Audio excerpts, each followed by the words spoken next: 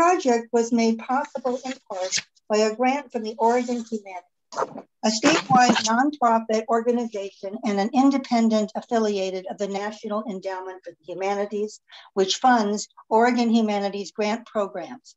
For 50 years, Oregon Humanities has offered programs and publications that help Oregonians connect, reflect, and learn from one another. We are very, very fortunate today to have both a filmmaker and a lead researcher from the Stanford University. I think this is the Stanford University Railroad Workers Project. Is that correct or not? Yes. Um, sort of. Well, we'll explain.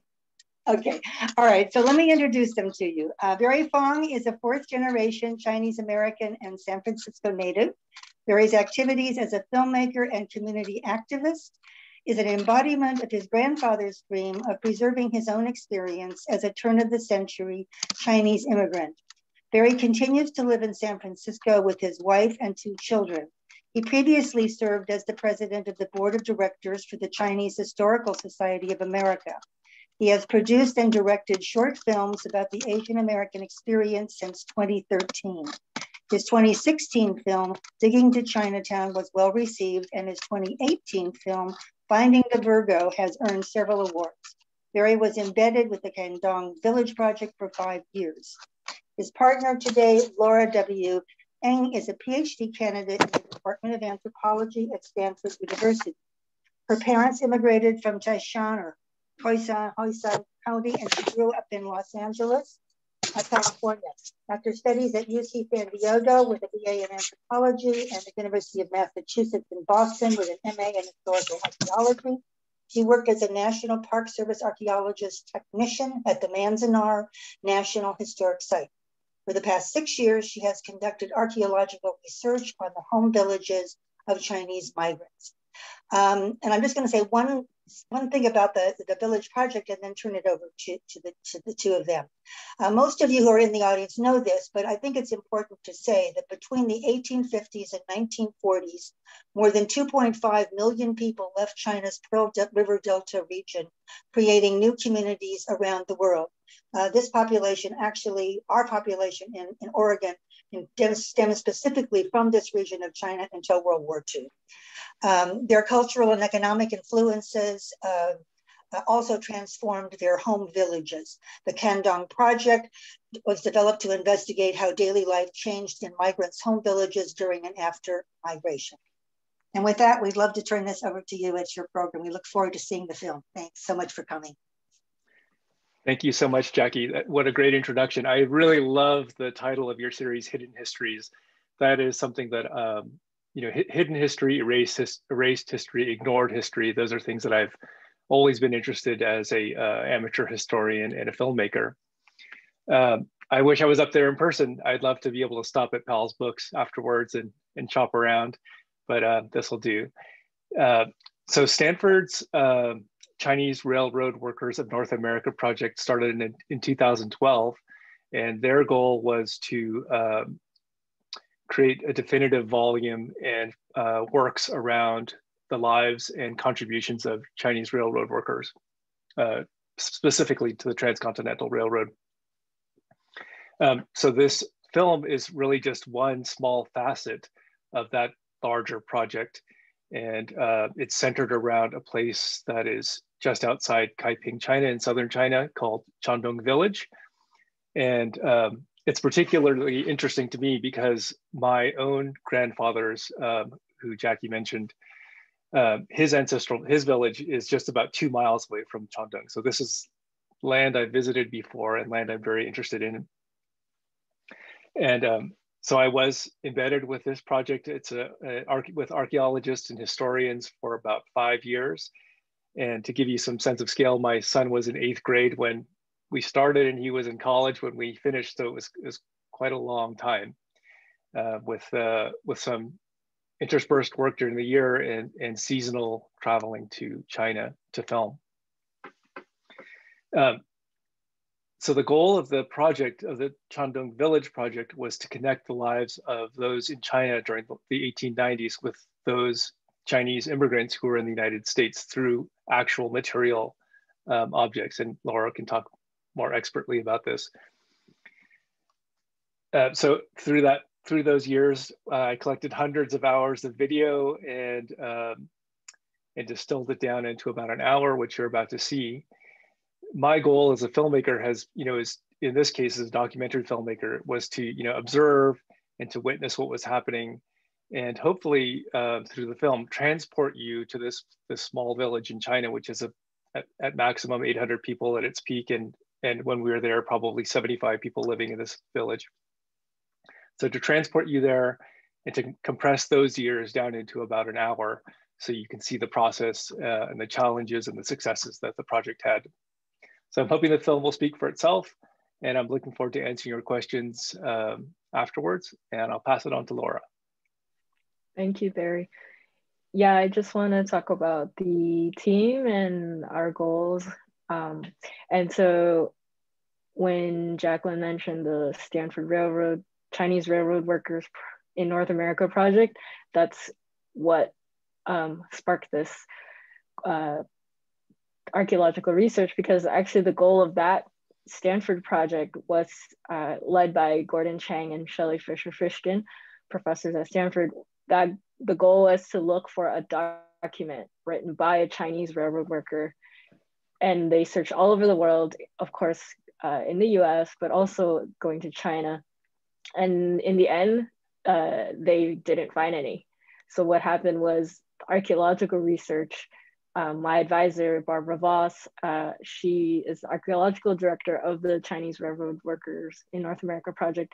That became more most important for showing how Chinese railroad workers lived, their daily life, what they ate, how what tools they used, how they moved along the railroad uh, track uh, line, and so from that uh, focus uh, and the relationships that the, that Gordon and Shelley were building with colleagues in Asia, we met uh, Selia Tan, Jinhua Tan in China, she's a professor there and she's been looking at the home villages of Chinese migrants in Kaiping specifically or Hoi Ping to or Hoi Hoi Pen Hoi Pen Hoi Hen whatever dialect you, you use um so she uh just said oh you should to she said to Barbara Voss you should do an archaeology project in the home village and so that gave us entry into this collaboration and now we've also uh, collaborated with the Guangdong province uh, Bureau of Cultural Relics um, because they are in charge of the archaeology in that province. And so this partnership grew out of the railroad project, but became its own thing. And uh, as I mentioned, uh, Professor Selia Chan focuses on Chinese villages. And she actually was already working at Cangdong village in, in Hoiping uh, and she's an architectural historian, so she already was trying to restore buildings, but through a through a, uh, maintaining the layers of history and not just reverting to the 1930s architecture that was part of that uh, remittances sent back from the US or other parts of the world. So um, the archaeology part was something that we were bringing that that that she didn't have at her university or or anybody in her team. Uh, so it was a great collaboration in that respect. And in terms of archaeology in China, the Guangdong province uh, Bureau of Cultural Relics, they don't really do archaeological research on on villages that are this recent. So even though Cangdong village is almost 700 years old, that's that's like yesterday's history for them. They're looking more at, you know, really like Ming dynasty is probably when they would be most interested in in and and not most interested, but the latest. And um they're also interested in, you know, tombs of of dynastic rulers, things like that. Um, although more recently we've learned that they're also looking at folk pottery kilns um, and artisan craft uh, workshops. So that that was great that they they did have this interest, and so I also want to say that this was a great collaboration uh, within the archaeology team of uh, archaeobotanists who look at seeds, uh, zooarchaeologists who look at animal bones, and Ryan Kennedy, he's the, the co-director along with me. Um, I look at everything, um, and but looking more like at ceramics, bottles is my thing. And then just people who uh, look at historical archaeology, which in the US is looking at the past uh, 500 years uh, from colonialism to present day, actually. So that's our, um, yeah, that was what brought this collaboration together, and that's what you'll see in the movie.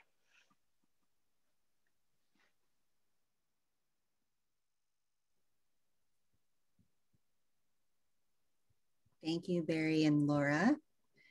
Before we start the film, I do want to let guests know that we have a Q&A function in the Zoom. So please do feel free to ask your questions and we will monitor them and bring them to our guests when we're finished watching the film. Also, my name is Tracy Kwan. If you have any issues, please do uh, let me know in the chat and I can try to help you out with any technology. All right, I'll hand it over to Sarah and Kapiolani. Anything to add before we start the film? No, let's uh, go ahead and roll it. All right, here we go.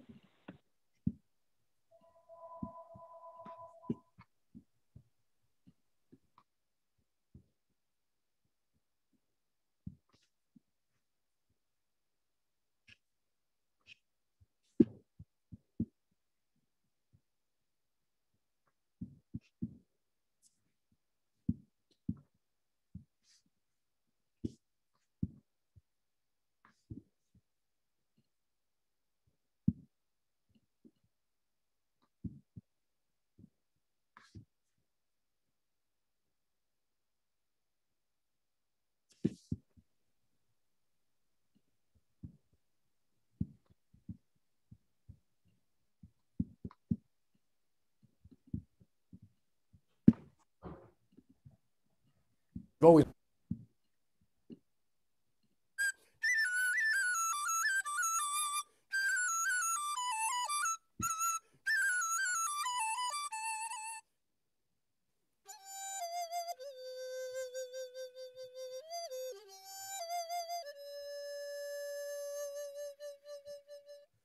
being a fourth generation Californian, growing up in the Oakland uh, area, I've always been interested in Chinese railroad workers. I'd always heard about Chinese railroad workers growing up, but never was able to learn very much about them.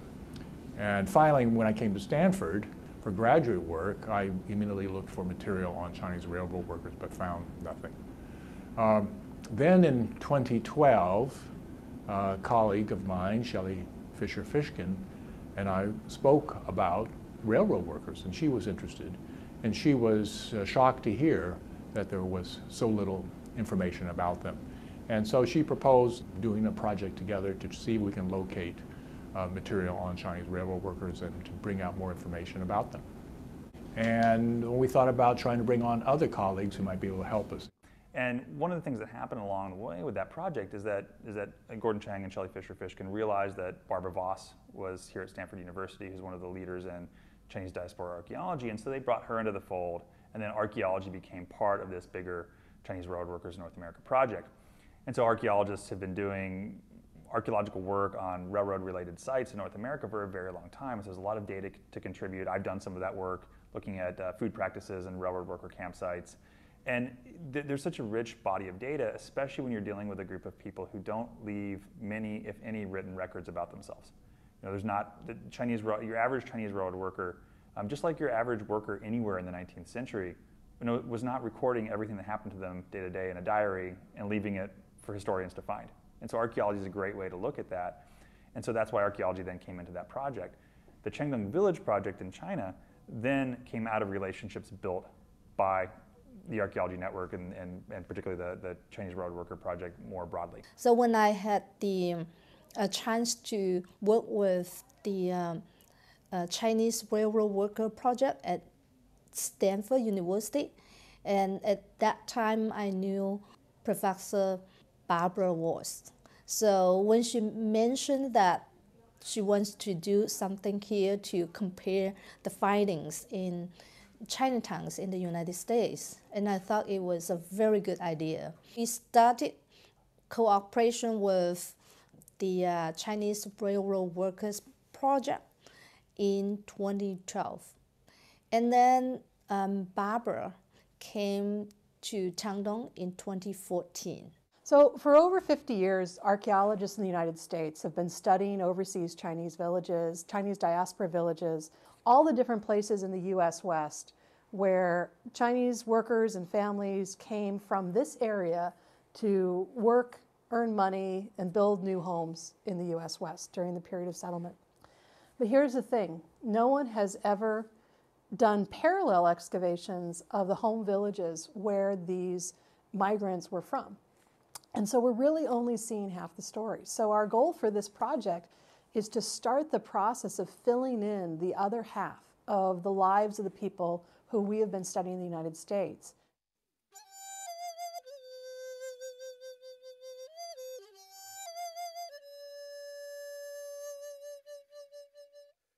Archaeology as a discipline is the study of the material remains of people in the past, and we study those materials to understand the daily lives of the people who lived in times both long ago and very recent. In historical archaeology, we combine that material evidence with evidence from other historical sources, like um, you know, newspapers or oral histories or other kinds of written records that help us fill in the big picture of what was going on. Well, my, my personal hopes and dreams are that we find all kinds of fish bones under the ground. Um, you know, that's my, my number one goal. Uh, but for the project itself, we really just need to know about daily life. Um, what, what, what were people doing? What were they, they eating? Uh, what were the kinds of objects they used in their, in their day-to-day practices um, for their jobs? You know, for instance, if they were farmers, um, which many of the people in the village, in Cangdong village were, uh, the kinds of tools they might have been using in the fields that they were working, the kinds of tools they would have been processing the, the, the crops that they were growing with, so different kinds of, of uh, mortar or pestles that we might, we might turn them in the U.S.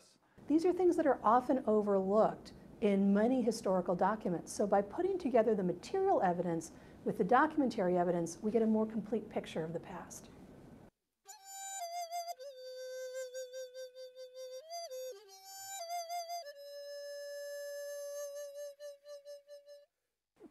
To our knowledge, this is the first serious attempt to do an archaeological excavation at a home village, a Qiaoxiang, um, of overseas Chinese people who migrated from this area, Wuyi area, in the 19th century to the United States, Australia, Latin America, um, New Zealand, South Asia.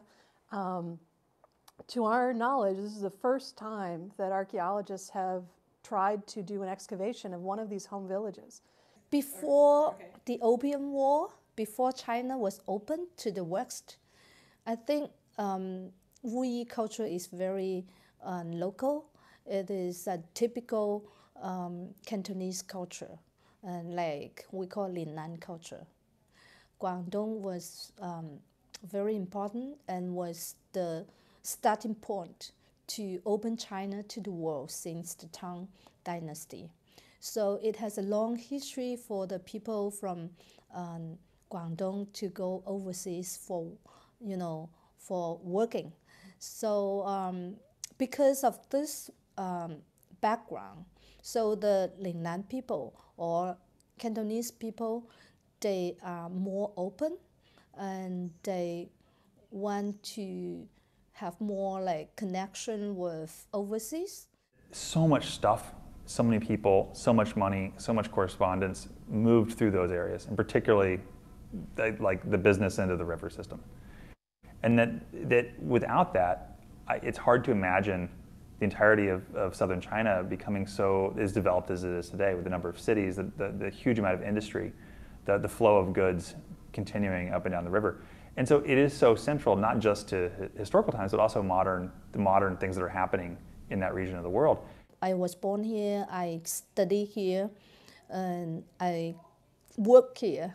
So for so many years, I, I have very much interest in knowing our culture or to preserve our history.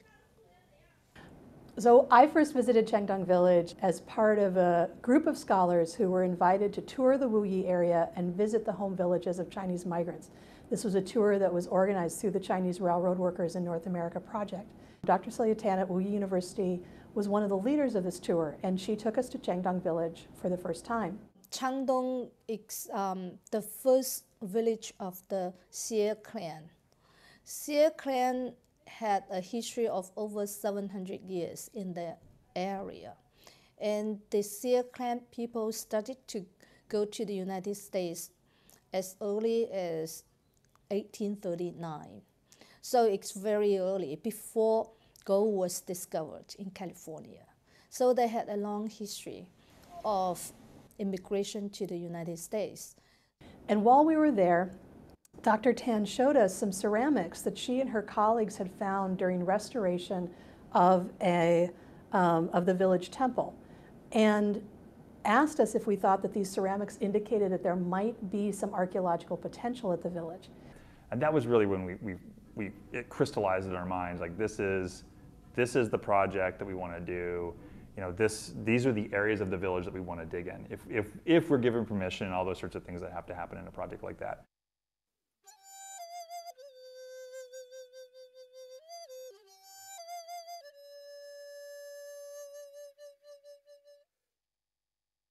One of the most exciting things about this project is its transnational character. It involves researchers from all over the United States and many different universities in China and government agencies in China.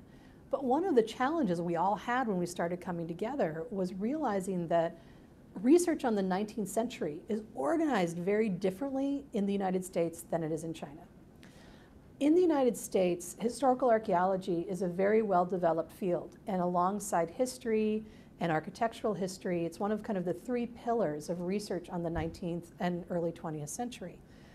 In China, archaeologists don't usually study this period. They tend to focus on periods that are much older, and late 19th and early 20th century um, topics are usually studied by historians, architectural historians, and folklorists.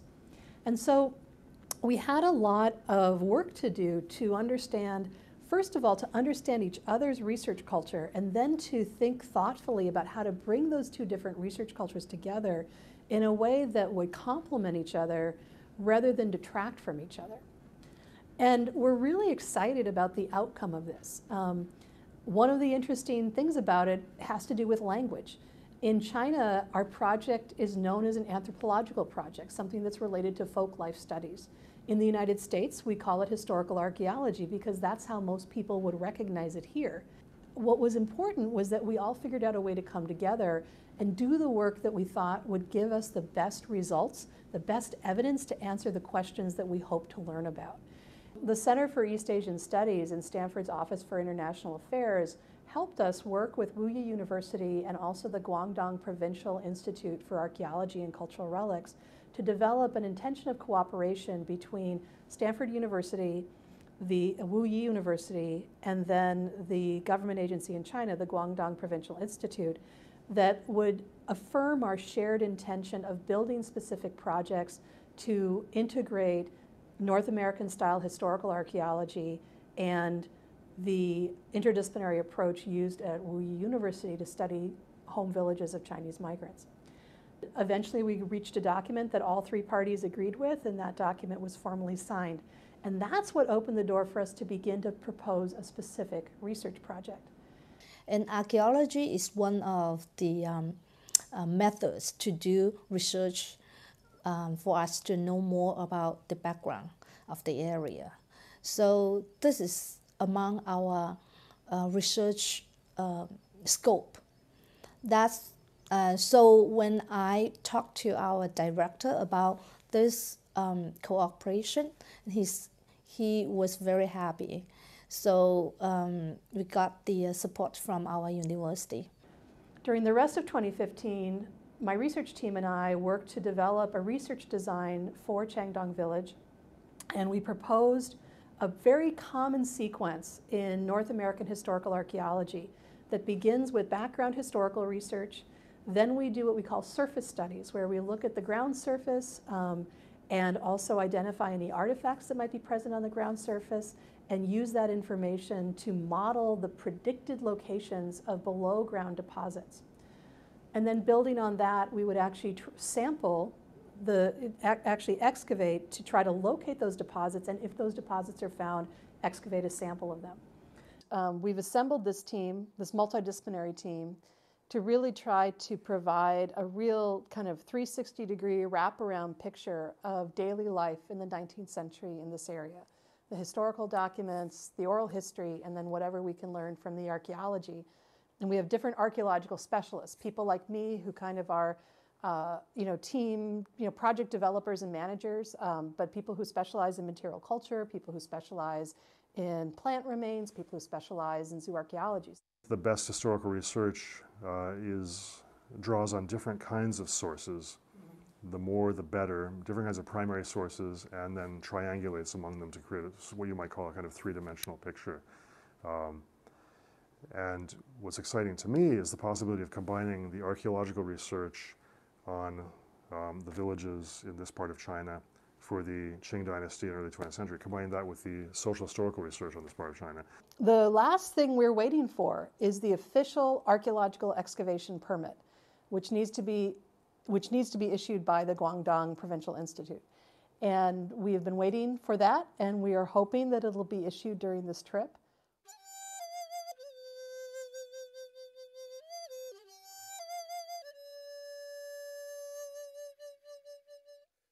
At the end of that first trip, you know, we're, we're looking at these sherds, ceramic sherds all over the, the, ground, and we're seeing things that we recognize from the United States. We're seeing double happiness, which is a ceramics pattern, a ceramic pattern that's very, very common at archaeological sites, uh, Chinese archaeological sites in the United States, and we're seeing it everywhere. And so we knew immediately this is something that, that like, there's good stuff here for archaeologists.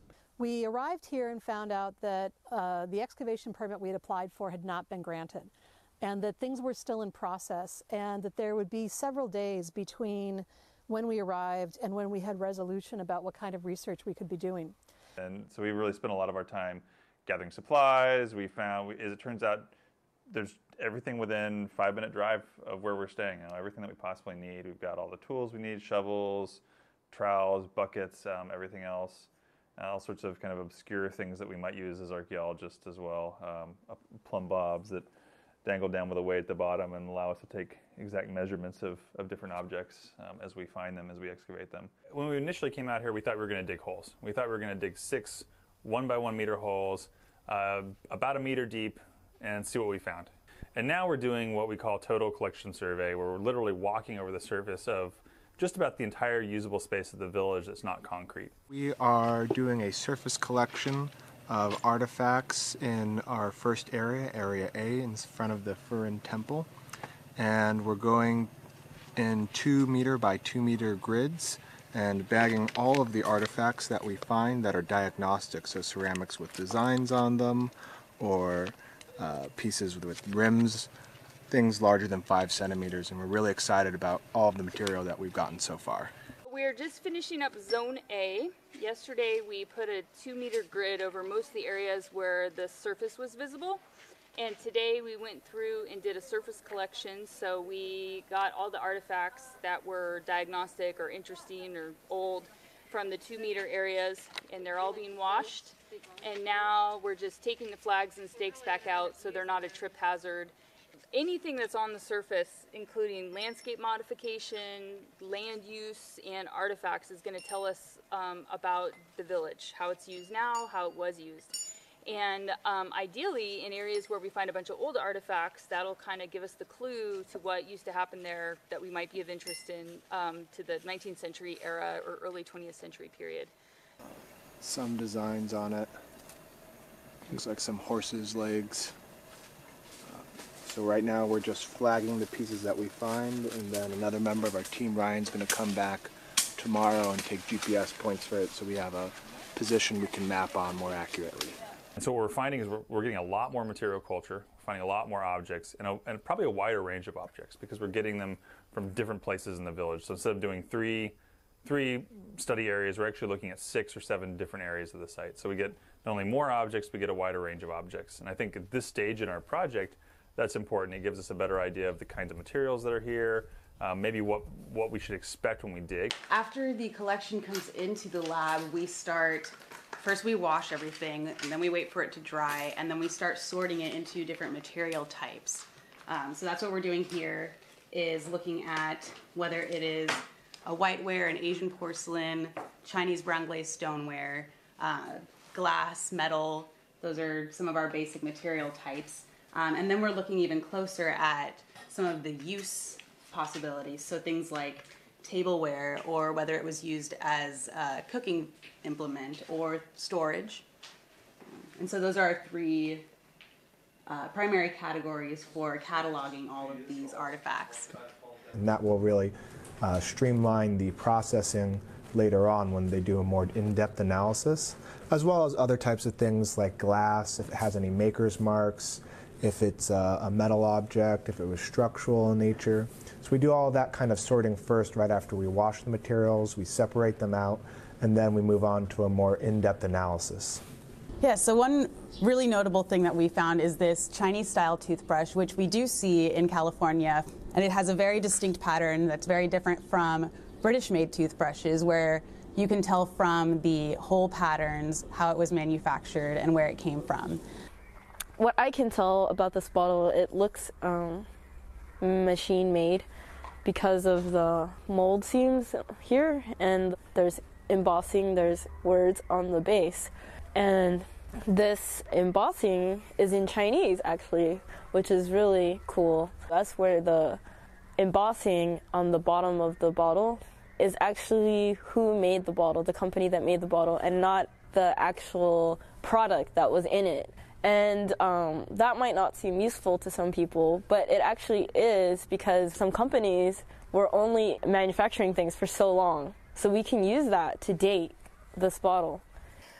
We didn't see any four season flowers um, porcelain here, and we see that um, in the US a lot. Um, there's a very high amount of four season flowers, and here there's like absolutely nothing. And a very, very low amount of um, bamboo, and that was also kind of surprising.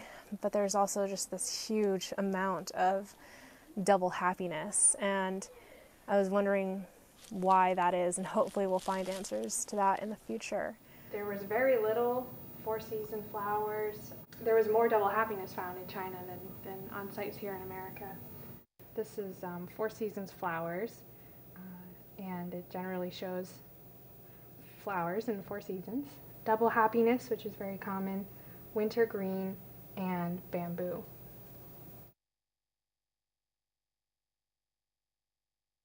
I'm really interested in is there's more of an abundance of peck-marked ceramics here. Uh, in the United States, we see a very rare amount of peck marks, which are little marks showing up in the bottom of bowls, usually someone's name uh, or a family name. And they're just very, very abundant here. And that's something that was really interesting for me to see is just the amount. What we saw and what we found there was that not only did we have all the kinds of Chinese made ceramics that you can imagine, things we've never seen in the US at sites, stuff that's unique, at least that we, we don't think was being exported. We also had British whiteware ceramics, and we had things that were coming that were uh, medicine bottles and things that were, that were very clearly not Chinese produced, but that instead were, were from Europe or from uh, the, the Americas. And, and that's, that was really eye opening, right? And we realized at that point that it's definitely worth trying to come back and dig here to see what else we find. One of the things that we are really trying to do here is obtain a sample of material culture that we can compare to the material culture we excavate from Chinatowns, railroad worker camps, other Chinese diaspora sites in the United States and elsewhere. One of the things that was very exciting was seeing the similarities and also the differences. And there were some surprising directions in both of those. Um, one of the really exciting similarities is that in, uh, in Chinese diaspora sites in the United States, 19th century Chinese diaspora sites, we see a mix of both British produced and Chinese produced ceramics. One of our big research questions was is that because Chinese immigrants in the United States are buying British ceramics for the first time in the United States? It's kind of a, would it be a new thing? Or is this something that is already being used in the Wuyi area and is a very familiar material culture. You know, this project is truly transnational as well as a study of transnationalism, as in we're in China, we're looking at one site, but we're connecting it to Chinatowns, Chinese settlements in the U.S., and where we do research in both the China, on the China side and the U.S. side. I'm really excited to kind of go back and relook at my site um, through the lens of what I've learned here in just you know three weeks, four weeks. What can surface data tell us in a different way than excavation data can tell us? And so I've been thinking a lot about that. And I've also been thinking a lot about how to build towards the next step.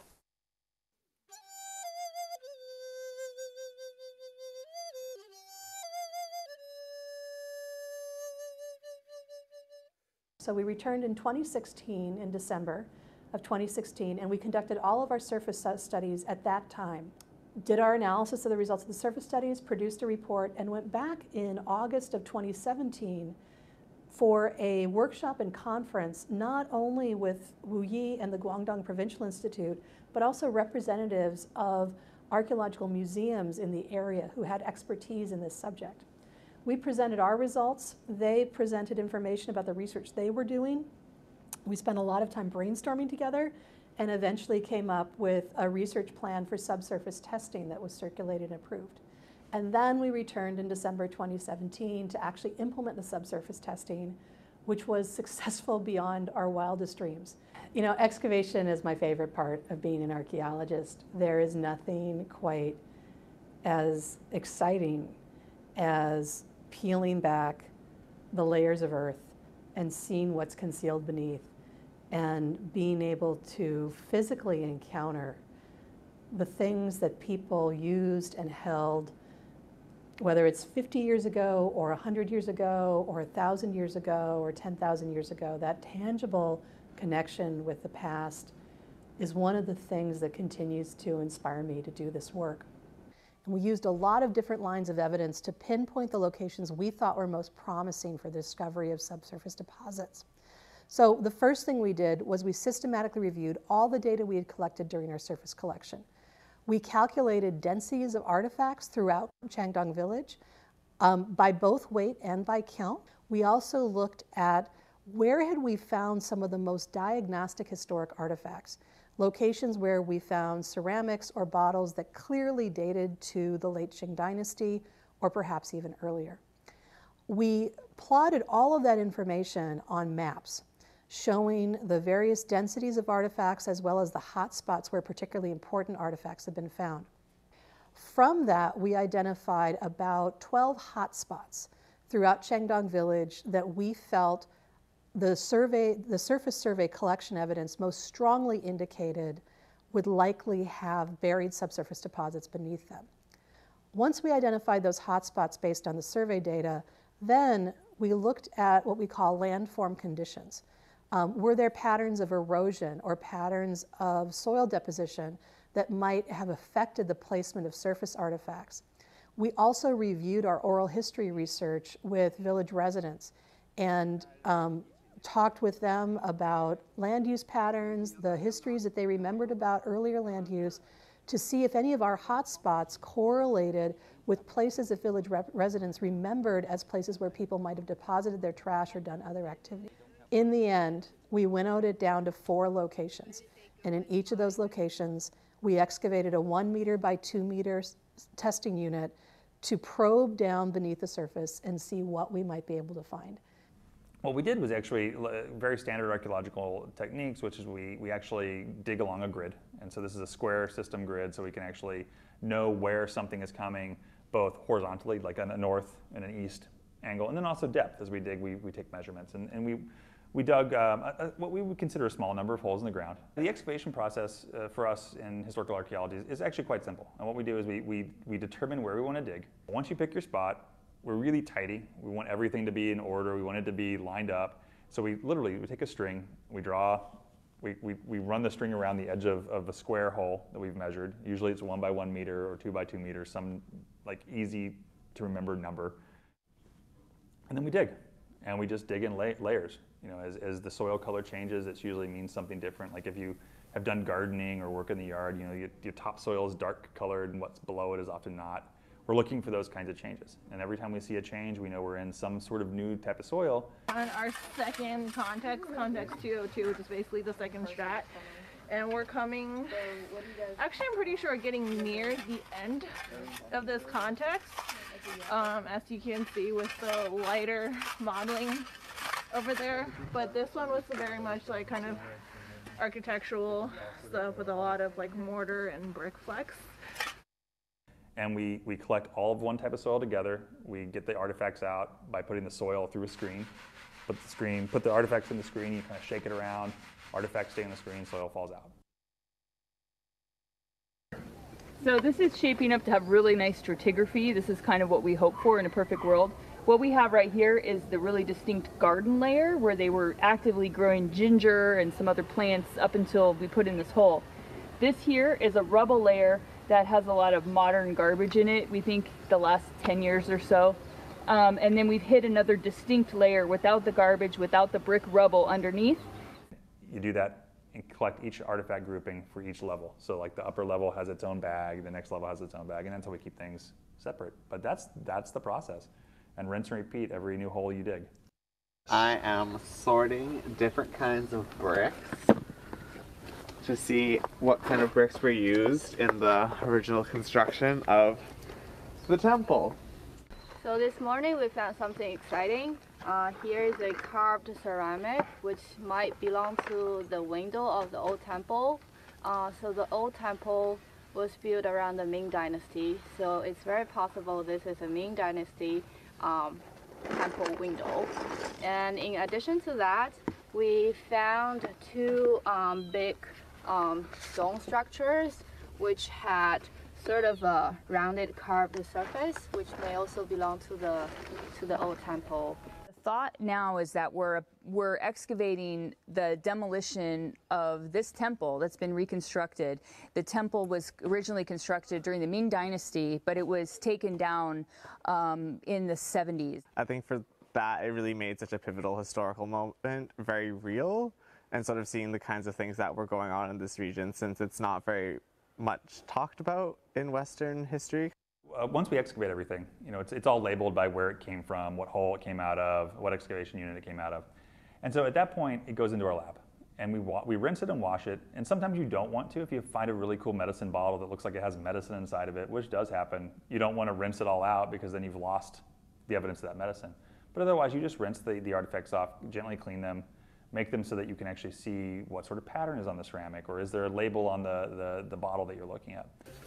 The depth of something and its age is not always related. This looks like a situation where, for whatever reason, a pit was excavated into this area, probably for use during construction activity. It looks like there's some mortar and lime residue on it. Might have been used as a lime mixing pit or, pit or mortar mixing pit.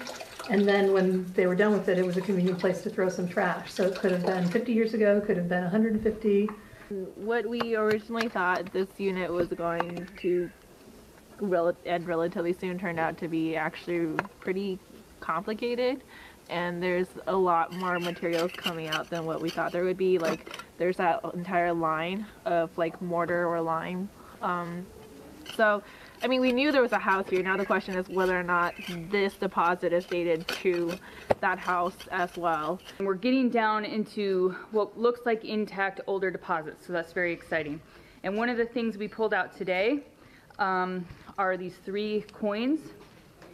And once they get cleaned up a little bit, it's very likely we can get um, a date off of them a lot of times the coins can be really old, but they can be forgeries, or there's a lot of information you can get from coins and um, what's the inscription. So this will be a fun way to kind of see how our layers are changing as we go down. So what we're doing is a water flotation process, and this is a way to systematically collect in a controlled way plant remains from an archaeological site. And we're collecting these remains because we want to find evidence of plant use and the environment at the site and track how it changes across the site and through time. And we're looking at how people interact with the plant world, how they use the plant world, how their use of plants is restricted by the environment, and then also how they change the environment that they live in. It's based on a very simple process because plant remains are lighter than water and they're supposed to float, whereas the dirt and the ceramics and other things that are in the sample are smaller than water and they should sink. And there are lots of ways of doing flotation that are kind of mechanical and go very quickly, but since we only have nine days of excavation here, we're doing it at the very simplest level, which is what we call bucket flotation. The equipment we're starting with is a bucket of water, a chiffon netting to collect the material that floats to the surface, and then on this side we have a plastic screen that's uh, a little bit has has wider holes to let the dirt fall through, but still collect all the ceramics and bones or whatever else came through the sample. So this we call the heavy fraction because it sank, and we call the other the light fraction because it floated. And then it goes through, depending on the kind of object it is, uh, for ceramics analysis, we were asking what pattern is it? What kind of, of, vessel is it? You know, I think at home you have a plate, you have bowls, you have teacups, you have those sorts of things. We're looking for the same kinds of things in archaeological sites. So what kind of vessel did it come from? And then you do the same for different kinds of materials. And at the end of the day, then you have all this data from each kind of artifact. So the metal has a different kind of, of data that we're collecting, the bone, the ceramics, the glass, and so on. What is Unique and exciting about this project is not just that it's the first study of a Qiaoxiang, but that it's come about through this long-term partnership that has been developed between US, US-based scholars, China-based scholars, but also scholars across different disciplines, right? Architectural historians, historians, archaeologists, oral historians, filmmakers, um, folklorists, I think this is really the future of research, that we both realize that when we're studying the modern world, because people are very mobile, we cannot study it from just one national perspective. And I think the other part of it is that because each discipline has its strengths, but it also has its limitations, interdisciplinary work is really the only way to get the full picture of people's lives. We, when, you know, when you start an excavation like this, you don't really know what you're going to find. And what we found is that we're getting an incredibly large amount of, of um, ceramic tile and brick and things like that. And the, because, because this is still a standing community, the better source of information about architectural materials is actually on the buildings itself. There isn't a lot of research benefit to collecting large amounts of broken tile when we could actually take samples from extant buildings. And so what we've decided to do is actually um, keep a representative sample so that if in the future there are archaeologists who do want to do, say, chemical analyses or something like that, there's some material available. Um, but most of the tile we're actually just going to backfill back into the unit. I Don't know anything about Chinese ceramics, so it's been really cool to see the different types, um, and especially when you when you wash something and something comes out that you're not expecting, and that's really beautiful. The data set that we've gotten is so critical it's the only data set that's out there to be able to compare all of this data that we have from North American Chinese sites, people that were working at railroad camps, people that were living in urban Chinatown communities, people that were at mining camps. So much data from North America, uh, in Canada as well, not just the United States. And now we have something to compare that to. The gaming pieces, I think for me, was one of the most evident examples of this because I have a collection from the Chinatown near Vancouver, and there's a whole set of gaming pieces, and I found half of one here, and they're exactly the same. It has such a different context. You know, it's in China where this stuff came from, and that's been really exciting to kind of stop and think about the comparison value of this data set, which we've really been missing um, in overseas Chinese studies. I think the biggest surprise for me is how quickly the local villagers forgot about their history. Um, I remember like um, we were we we were digging a pit that contained a lot of uh, temple debris, and when we conducted some um, the oral history, um, we it appeared that they don't they don't have a coherent story about you know how the temple was destroyed and how they recreate the, the things afterwards. And that's not uncommon when we're doing uh, archaeological work. We'll ask people that live in the area what what kind of uh, history they know about a particular place. They'll tell us their memories of it, but there may be other things that happen there that they don't know about or that they've forgotten. And so we oftentimes find that that's what's under the ground is a little bit different than what people remember. It's a very, very good um, uh, memory of the archaeology team working in the in Cangdong village. We learn a lot from them because we don't know, you know, anything about archaeology. But from them, we have we know, you know, how to do it. We know the knowledge, and we know the values.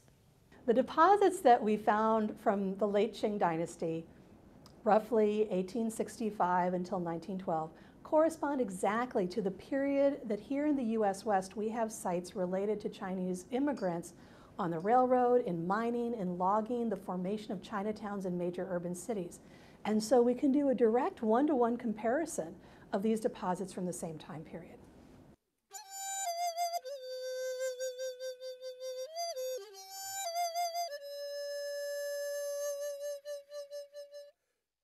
Well, I've mentioned that we had a problem locating any textual evidence uh, about the railroad workers, anything that they left behind. In China, we've uh, identified some families who have memorabilia, maybe implements or some tools from the railroad. They say that their ancestors brought with them back from the United States, uh, but still no document from them. So we understood that we had to develop other sources of information to tell the story, to see if we can reconstruct the story. And that's why we turned to archaeology very early on and Barb Voss's wonderful work to understand the material culture left behind at the labor camps and other places of the Chinese railroad workers.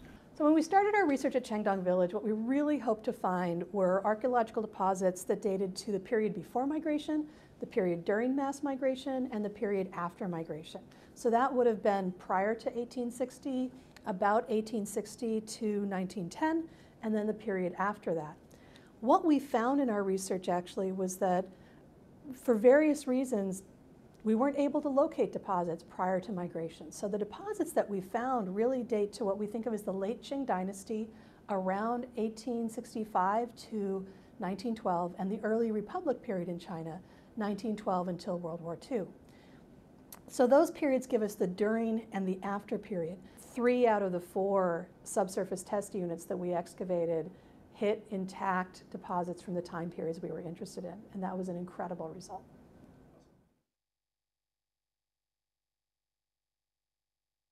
So in archaeology, we often look for patterns, but sometimes we find a single artifact that tells the whole story in itself. And in this project, the artifact that had the biggest impact on me is this very small little colorless glass vial, a medicine vial, that was made by the Abietine Medical Company in Oroville, California, over 6,000 miles away from Cangdong Village, English and in Chinese. And although the Abietine Medical Company is fairly well known to archaeologists and collectors in the United States, there had never been any, ex any examples known that I've been able to find of a bilingual bottle being produced and marketed by this company.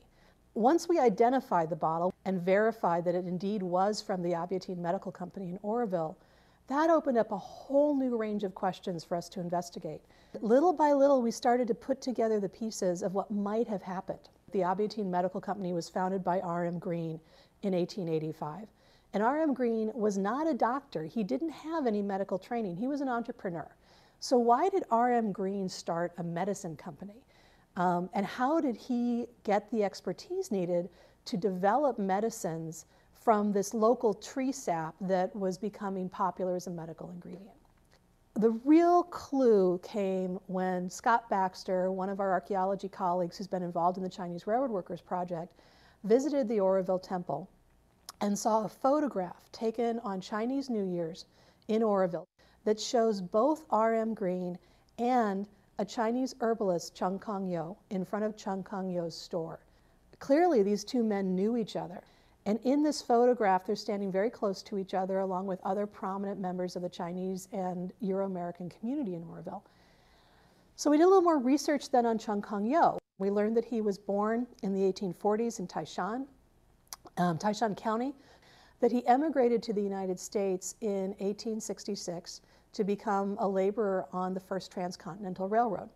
And after the railroad was completed in 1869, he settled in Truckee, California, where he established an herbalist store. And it's clear that he had prior medicinal knowledge um, from his, before he emigrated to the United States to work on the railroad. So, for whatever reason, likely because of the strong anti Chinese movement in Truckee, he moved to Oroville in the late 1870s and established his new store in Oroville, where he primarily sold Chinese medicines and um, also provided import export services, helped um, Chinese workers in the area send remittances back to their home villages in the Pearl River Delta. So by this point in the 1870s and early 1880s, he was a really well-established businessman, someone who both was using his expertise in Chinese medicine, um, but also had well-developed connections with import-export companies and the financial world of international business. We don't have anything that concretely proves that R.M. Green and Chung Kung Yo collaborated in developing the medicines that were sold by the Abietine Medical Company. But we can infer that RM Green had to have some kind of partnership, one, with someone who was knowledgeable about the medicine world, and two, with someone who knew something about import, export, and marketing to the Chinese American and overseas Chinese communities. And the association between R.M. Green and Chung Kung Yo in this photograph provides one possible link between a former Chinese railroad worker, someone who emigrated from Taishan, used railroad work as a way to amass some capital to build a business, um, and R.M. Green himself, an entrepreneur with no medical background and no import export background, but who clearly saw an opportunity for a growing market.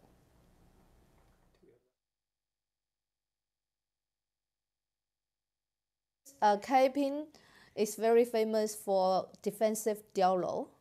And the reason why people built diaolou to, uh, for defense, it was because the overseas Chinese people brought back money. So um, they need protection. So that's why they built the diaolou. And to go with the diaolou, guns are very, very um, important for the local area. We found several gun flints. So these are um, small pieces of stone that have been shaped so that when a steel hammer hits them, they set off a spark that ignites the gunpowder that propels the bullet or cartridge out of the gun. What's particularly interesting about these gun flints is that they are all of British or French manufacture. They all date to the um, late 18th and 19th centuries. And they're found in deposits from the Qing dynasty. And so even though some of them may have been manufactured earlier, it's clear that they were in use during the late 19th century and early 20th century. We were surprised to find these, both because this is a quiet domestic village today. The first thing that became obvious when we found the flints was, of course, we were likely going to find gun parts and gun materials because this area, part of the reason why people migrated from this area was because the 19th century was very turbulent and full of, full of violence. And every clan would have a watchtower, at least. And sometimes they would have their own communal tower in the village. And in the communal tower, they would have guns.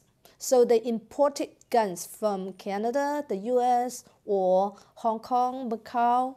So, so they brought back these guns and used it when bandits came.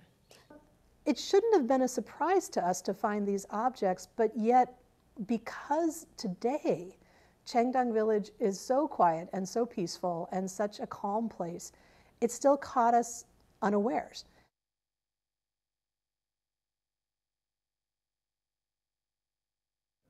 And what was really fascinating to me about this project in Cangdong Village is that we didn't find many animal bones. There, may be a dozen total animal bones in our entire excavations. Number one, because we eat bones. You know, Chinese people eat bones. And we use bones to cook for soup for a long, long time. So this is one thing to make bone to make bones disappear. And number two, when we cook the, the bones in soup for a long time, and after eating by people, the dogs, you know, dogs would eat all the bones. But we found what we found were hundreds and hundreds and hundreds of freshwater clams and freshwater snails. Like so many of them that did, and they were not in the pond where they occur naturally. They were they were much further away from the pond, and so it was very clear that they had been removed from the pond and probably eaten at some point. And so I think the story for me, the take home is, it's all about that local uh, mollusks that they had in the pond. They could collect them. They were a good food source. You can still find those exact same species in the grocery stores today in Guangdong. So I think a lot of this actually, I, I don't think it's about a true total absence of meat. I think there's a couple of things going on. I think one of those things is that a lot of the meat that they were eating was probably preserved in some way. So things like sausages or bacon, these sort of shelf-stable foods that allow you to use a little bit of it, and it goes a long way as a seasoning or as an ingredient in a dish. I think they're also using the bone as a kind of resource in and of itself. And so we've seen people using bone to put into the fish ponds as food for fish, or put into garden beds as fertilizer.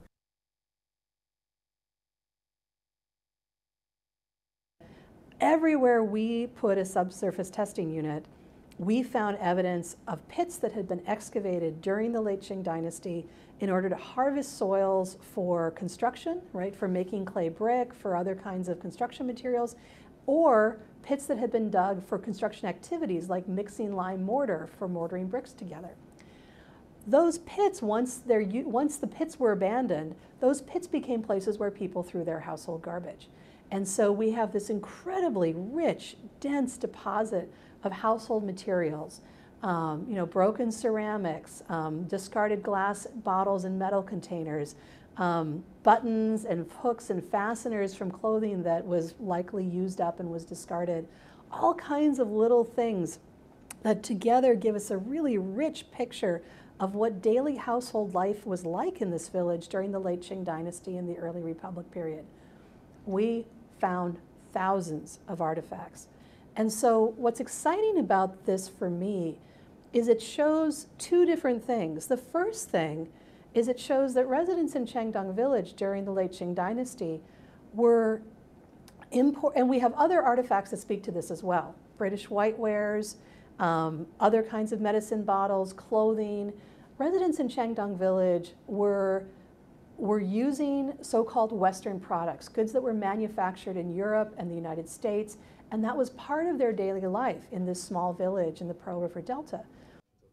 And so it's very clear after this work that, that rural villages in southern China were not isolated farming villages with no connection to the outside.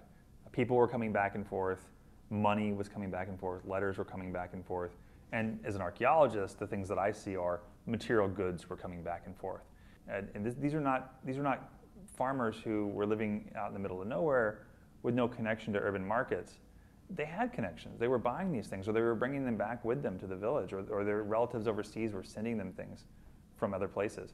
And so they were familiar with this stuff. They were probably eating meals in Cangdong village off of these really large transfer print platters that you might see in a, in a kind of Victorian era home in the United States or, or in Europe.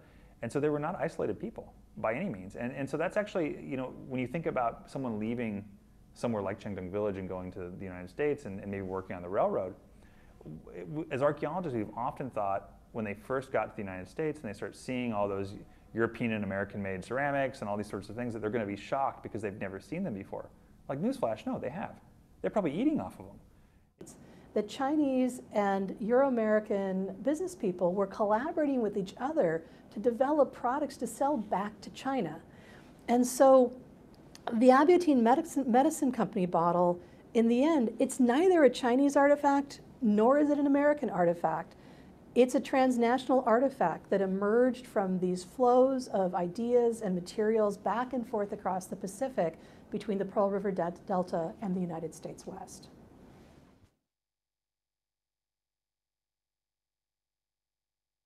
I am overwhelmed by how generous and welcoming the village residents are. We are doing things that normal people don't do.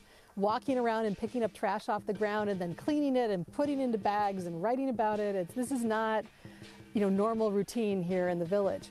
Um, everyone here, from the village head, Mr. Xie, to uh, all the people who work in the kitchen, the drivers who have been hired to bring us from our hotel to the village and every place else we need to go. Um, the staff of the Cangdong Heritage Education Project have been so friendly, so welcoming, so accommodating. Um, and made us feel so welcome here. And I, I know that we are probably being a lot of trouble for them. And I'm very, very honored and very moved that they're being so welcoming. Um, so on the people side, I just want to say, you know, I just feel incredible gratitude. The image of the Chinese railroad worker, if one had one at all, before the project and before the release of this information, is of someone who was poor, destitute, illiterate, uh, forced to do work that uh, no one would want to do, and was exploited uh, in a terrible way. Now, that is not altogether wrong, but it's incomplete. A lot of the workers were literate. A lot of the workers were very entrepreneurial. A lot of the workers were very savvy in how to sell their labor and to parlay their position for other uh, opportunities for work and business, certainly after the railroad. They were capable in handling money. They were not all just uh, uh, unskilled workers.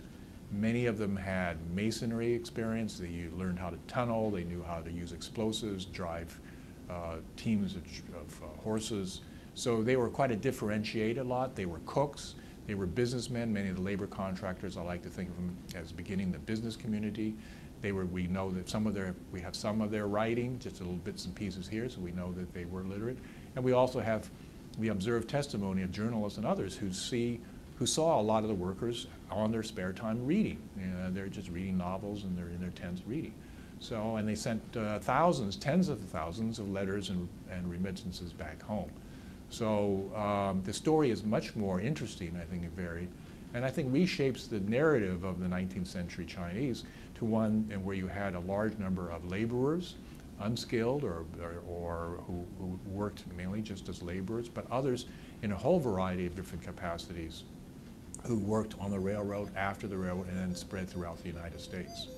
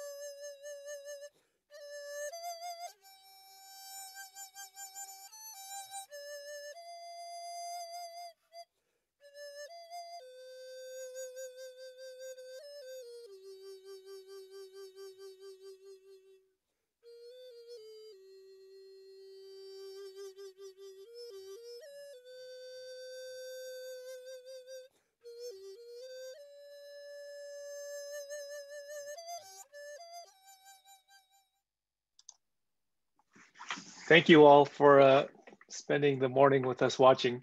Um, there are a couple great questions out there. And uh, I'd start with Keith Lee's question um, asking about where this village is located. And if you look in the Q&A, there are a couple maps that I posted uh, pointing at the village. So it's about, uh, I believe, about 10 miles um, southwest of Kaiping City.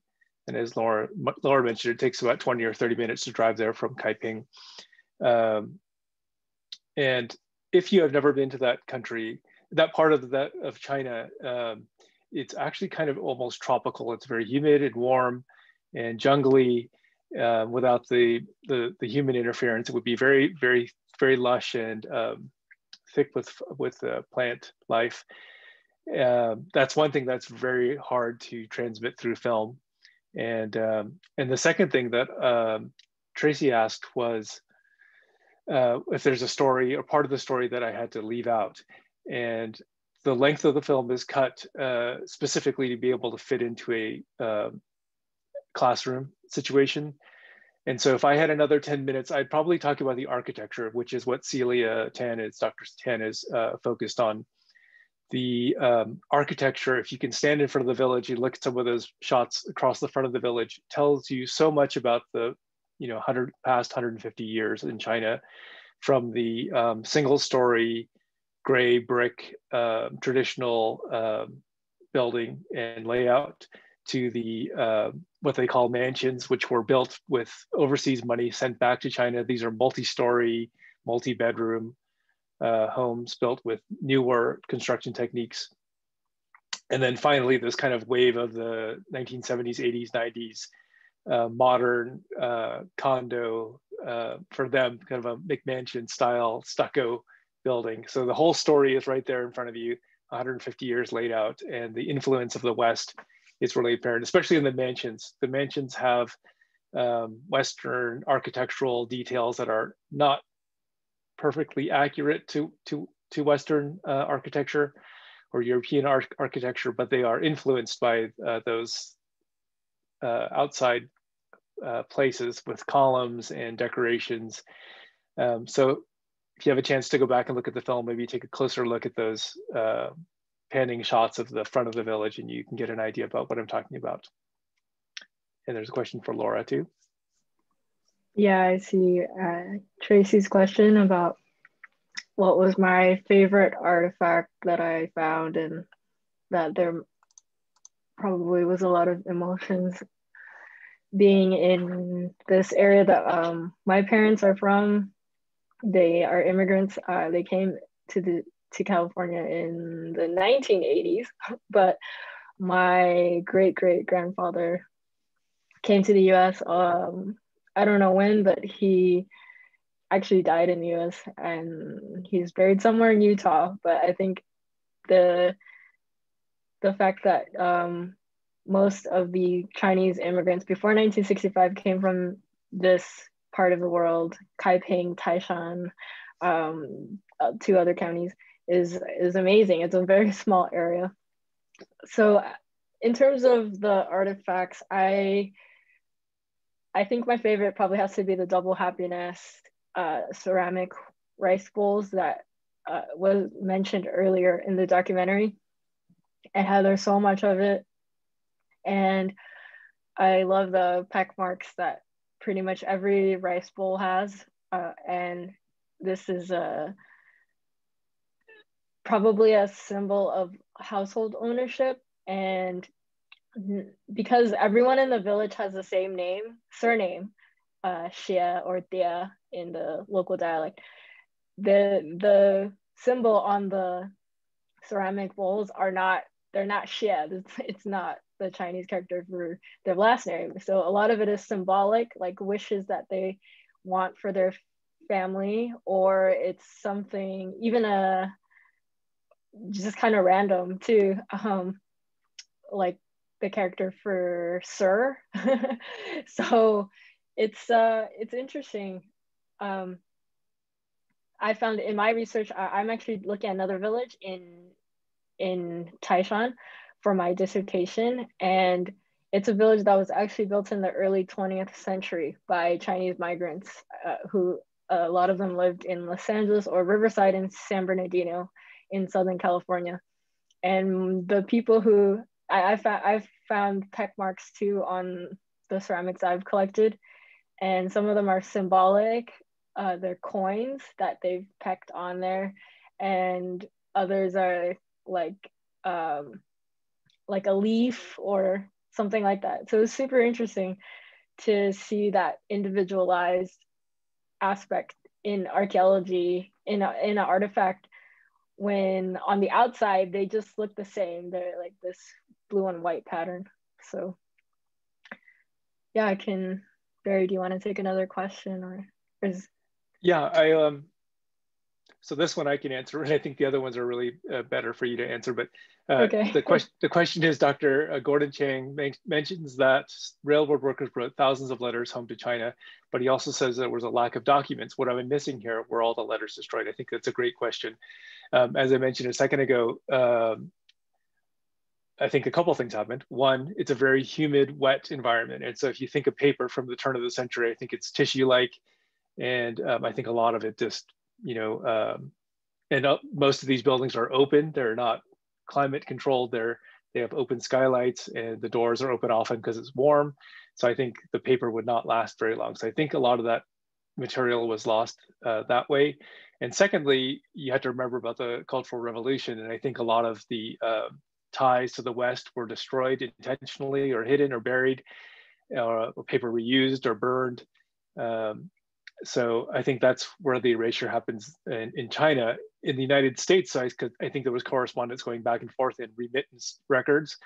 Um, a lot of that coming through San Francisco. And you have to remember 1906, the earthquake and fire destroyed 80% of the city and most of Chinatown. And I actually have an oral history of a family that um, that was sending remittances back to China. And this uh, woman who you know was a young child at the time was saying that she remembers her grandfather's uh, these baskets full of papers of re remittances from China, and uh, and after the fire that that was all destroyed. So I think those are two uh, you know major reasons why uh, the documents don't exist anymore. Yeah, that's uh, exactly how I would have answered that. so I'll take Jessica Scher's question. Um, from all of the artifacts excavated, roughly what percentage were crossover artifacts that were also found in the US? And so I'll answer that first. Um, at Cangdong Village,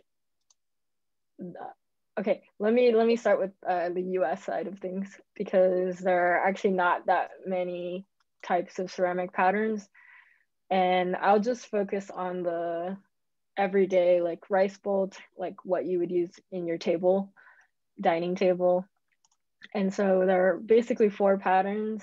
Um, actually three because it the double happiness pattern in the US, it kind of drops off of Chinatowns that post date were established after the 1880s. But there's some evidence that that it came back. The pattern came back in the 1930s.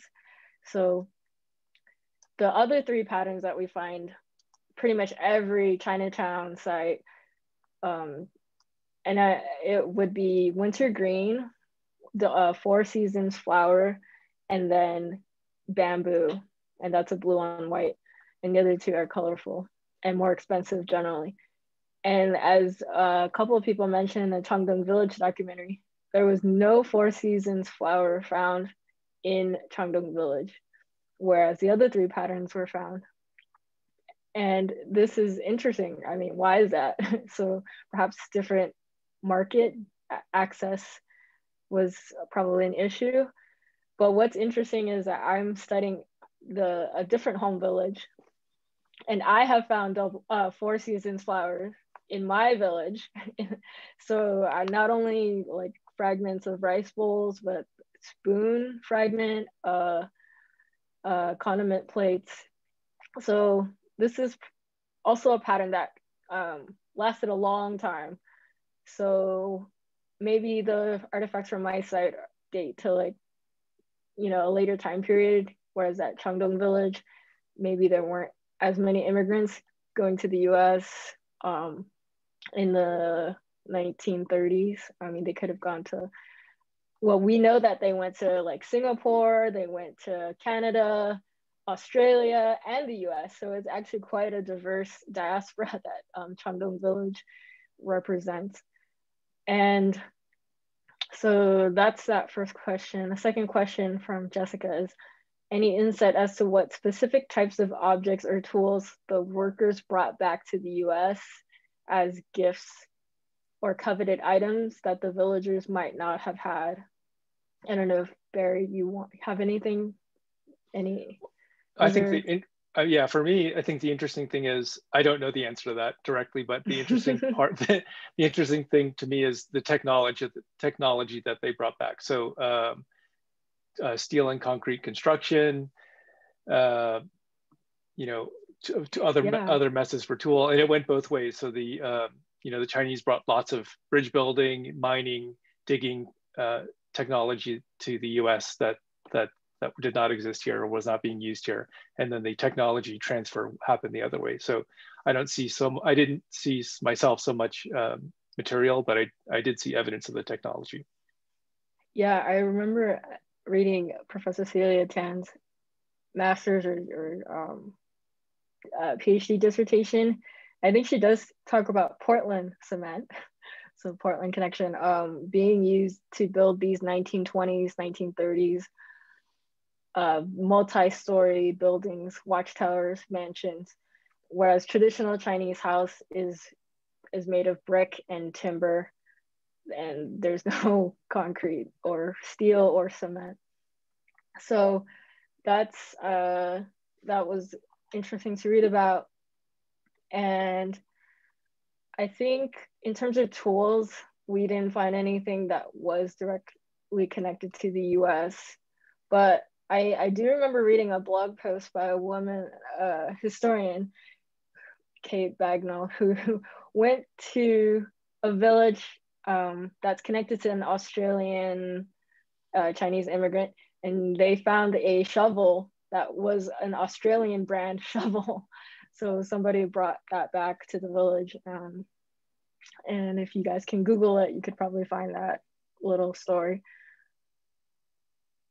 Is there another question you want to answer, yeah. Barre? So I'll start the, uh, this one, which I think is another great question uh, from Maris. Um, th there's a Western narrative about the Chinese government and its reluctance to let outside scientists into China, plus the erasure of certain aspects of Chinese history during the Cultural Revolution. Dr. Voss mentioned that the initial excavation permit was denied. During your research, have you experienced any of this, or is it an inaccurate narrative to keep perpetuating here in the US? So uh, my perspective is generally that uh, the Chinese government, the um, university, Wuyi University, and the scholars there were unbelievably supportive. Uh, they were, you know, providing us with uh, housing, meals, rides. Um, there was no monitor uh, from the government watching what the team was doing. Uh, the the moment where um, the project was delayed by a permit was more administrative administrative error than than reluctance of the government.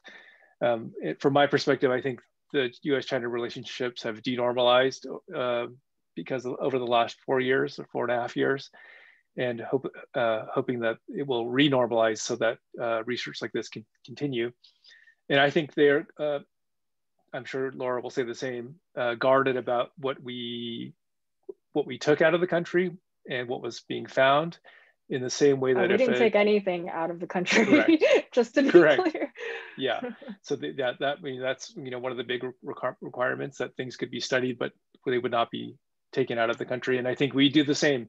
If a chinese or taiwanese or korean uh, archaeology team came to the us we wouldn't let them take anything out either. So i think that's that that's quite expected yeah, I, I, guess I would say Ryan Kennedy, who studies fish bones, he got to take fish bones from fish that he bought fresh and like you know he he cleaned it off and then vacuum sealed the fish bone and then brought it back to the US to for his comparative collection so that if he found any fish bones in the US he could compare that to his his entire collection so that was great for him um, even though in the documentary we say he didn't he didn't really find that much in terms of faunal remains but i also want to say that um, in in terms of archaeological collaboration the standard chinese um, practice is foreigners cannot do archaeology projects in china alone. They have to collaborate with a with a chinese um, you know the provincial uh, archaeologists or a university. So that's always been their practice. And of course like i think that's what what should be done anyway even if that wasn't the the rule. And another thing is in terms of the cultural revolution erasing a lot of history that is that is true. And there's i i feel that professor selia tan i think her research um, program, her practice in terms of architectural restoration is to show the layers of history. So when she uh, renovated or whatever, restored two different um, ancestral halls that were built in the 1930s, I believe, in Cangdong Village. One was restored fully to the 1930s original look, and the other one kept those layers of history. So, for example, on the uh, on the inside there's a stove, a communal stove from the Cultural Revolution, and that was kept. They actually restored that stove, and they kept a whitewashing uh, from that time period. So it's it's a difficult history, um, but I think the way that she views that um, that importance of showing everything is is really, uh, you know, what I think uh, a lot of um, you know architectural historians would say is is is something they would do too in the U.S.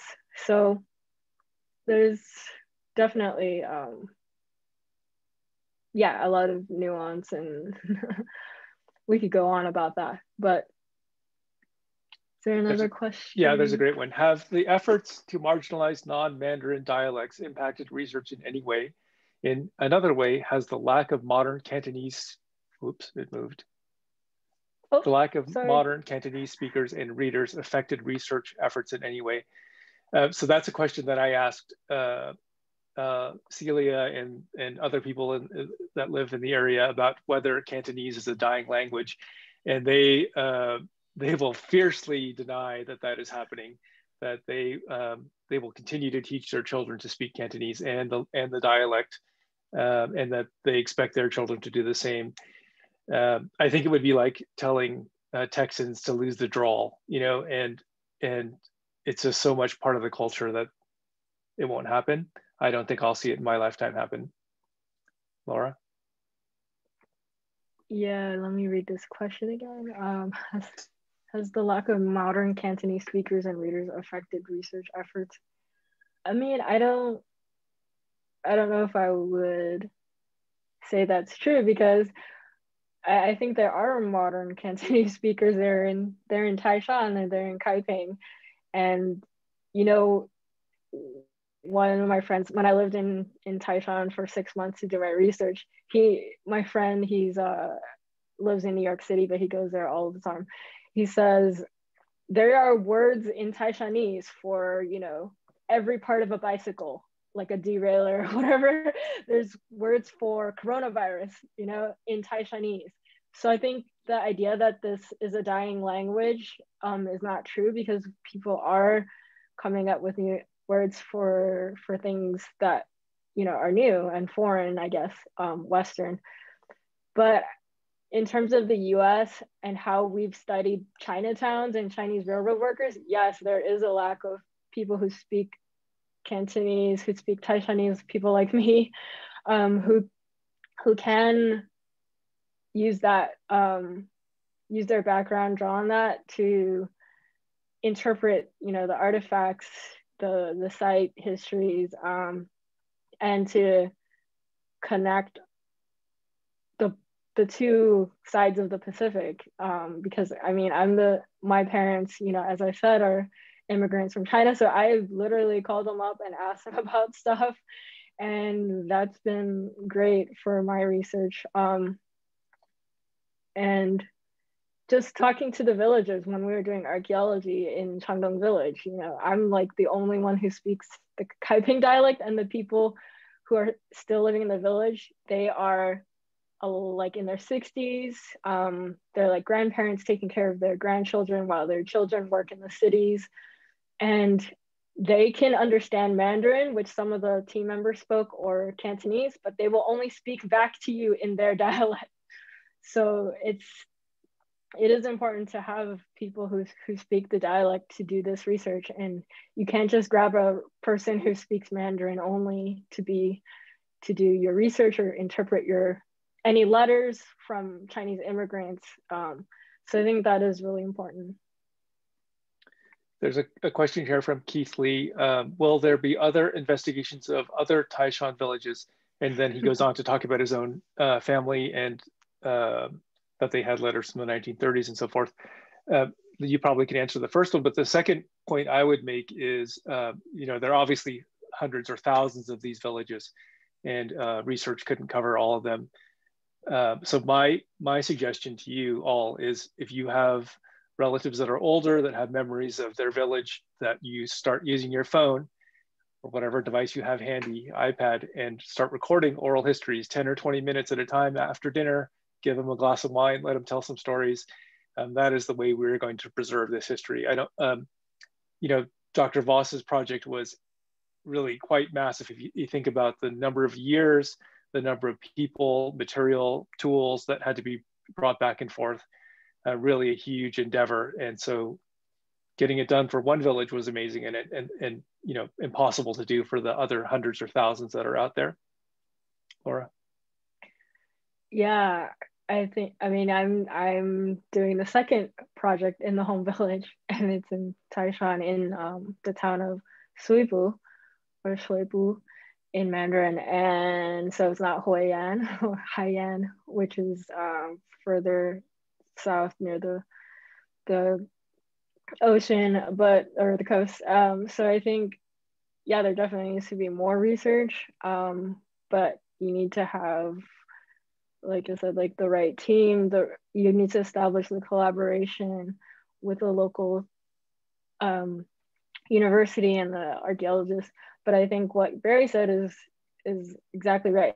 Like to in order for me to do my research, which was on a on the two Chinatowns in Southern California and and in the home village, I actually relied on a lot of information gathered by the descendants of the two Chinatowns. And they've they have their own websites like family history. They've done oral histories because they care about sharing what they know about their their grandparents who came in the 1880s and without that foundation i wouldn't i wouldn't even have much to go on to to know that that village was a, a one that i should study and now i have this project that is my dissertation so i, I definitely urge everyone to collect whatever you have and then we can we can go from there. Thank you, Barre and Laura. I know we're a little bit over time and folks are very interested and have lots of questions, so we appreciate our guests. I do want to just pause here and uh, invite Jackie, our ED, to come back and close out for the day.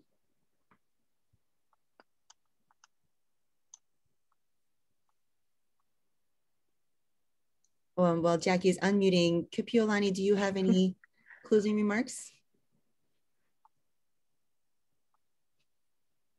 Oh, I just wanted to thank both Barre and Laura for such a wonderful presentation. Um, I enjoyed the film so much. Um, I think Tracy was mentioning to me, like, we never think about how uh, immigration works both ways, like that circular relationship. Um, so I really love having an opportunity to see what you have all been working on. So um, I appreciate it so much. Thank you, Kapiolani. Kapiolani, do you also want to speak about some upcoming events for the Portland Chinatown Museum? Yes, uh, we have a second uh, program in this Hidden History series. Um, I know everyone really enjoyed this one, so if you'd like to continue learning more about the hidden histories. Um, we have a, an event coming up on April 24th, uh, which is Saturday at 10:30 a.m. And we'll be going to uh, Salem, um, where there is a really interesting project um, with recovering a Chinese shrine um, in the city of Salem and reconnecting it with the um, Sarah. Maybe you can help me with the pronunciation. The King Ming's uh, Festival. Right, the Qingming, uh, sweeping of the Qingming Festival, and um, making it an active uh, cultural site again. So we're going to be hearing from um, Kylie Pine and Kimberly Fitzgerald, um, Myron Lee, and um, Professor Juen, um, who will be talking more about the work that they're doing in the Salem area. So it should be a really great uh, program we will be we will be updating um, the website with more information and how you can sign up for that. So that will be on April 24th, Saturday at 10:30. So I just want to add uh, my thank yous to both Barre and Laura for this very, very fascinating uh, presentation today. And kudos to both of you and the work that you do do. And I just want to mention that uh, we're very pleased um, to present these uh, virtual uh, uh, presentations and conversations free to our audiences. Um, as you all know, our museum's been closed since mid-March of 2020 for um, because of the pandemic, and we had to close for health and safety reasons and and state mandates. And we really had no idea that it, we would be down this long, and we still are closed. We're hoping to reopen sometime later, late spring, summer. Um, but we've continued working very, very hard for you on the museum side. And uh, most of you have shown your ongoing support through your donations, and they have helped make a big, big difference. So we want to offer the opportunity for you to continue your support. And so you're welcome to go onto our website, um, which is www.portlandchinatown.org. So thank you. We want to say thank you on behalf of the board and behalf of the staff, the museum. Thank you so much to both of you and to our viewers. And we're just real appreciative and gratitude to our museum friends and supporters. So thank you all for joining us today on this very beautiful day. Enjoy your spring. Thank you. Actually, can I add one more thing?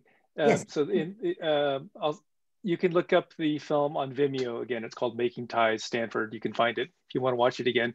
But also, I have added, I've uh, combined this film with two other projects that I did, I did for Stanford. One, one was uh, oral history with about 50 uh, railroad worker descendants, and plus a story about uh, historian Phil Choy, who uh, spent his life really trying to get Chinese Americans on the map and get recognized for the railroad work. It, the film's called Celestials. It premieres on May 8th, and I'll send a link to you uh, to your organization that you can pass on. Oh, wonderful. hopefully, yeah. That's wonderful. It's wonderful work that you are doing. Thank you so. Thank you so much for having us. Thank you so much yeah, for having us. You. It's quite an honor and pleasure. Thank you. You all have a great rest of your day. Bye. Yeah. Thanks, everyone. Bye.